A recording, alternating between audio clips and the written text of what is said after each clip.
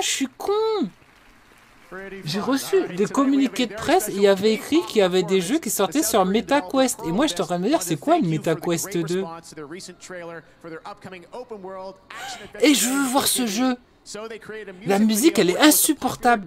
La musique, elle est insupportable.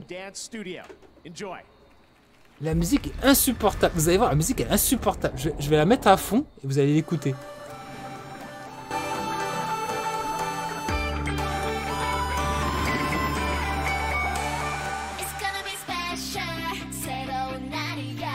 어쩐지 좋은 일이 생길 것만 같아 두근두근거려 새로운 널 만날 생각에 벌써부터 간질거리는 기분이야 Les mecs, ils savent tellement que la musique est insupportable qu'ils ont fait, qu'ils ont fait, ils ont fait un clip.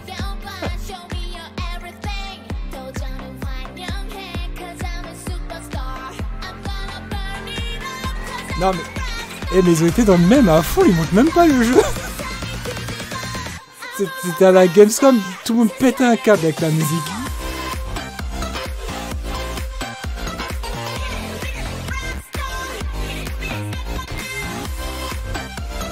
Elle me tue putain.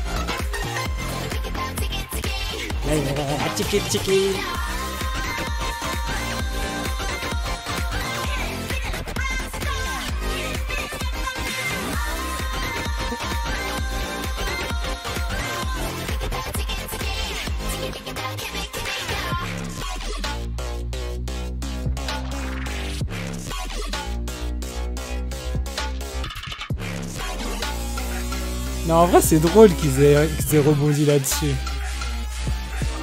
C'est une équipe coréenne, je crois.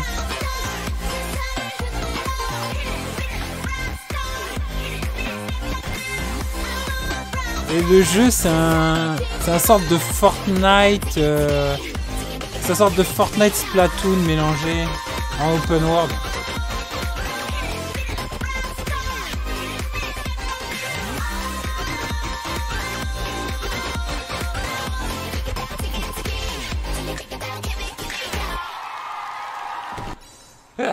Il est vraiment. Ah oui, il s'appelle Dokev le jeu. C'est n'importe quoi.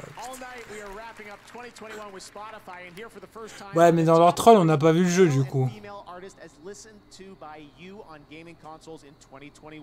C'était bien la peine de montrer ça si c'était pour venir. Ils auraient pu foutre au moins un peu de gameplay.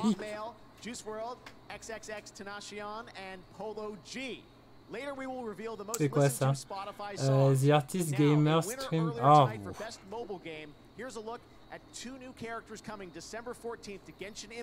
Alors voici deux personnages qui vont arriver dans Genshin Impact.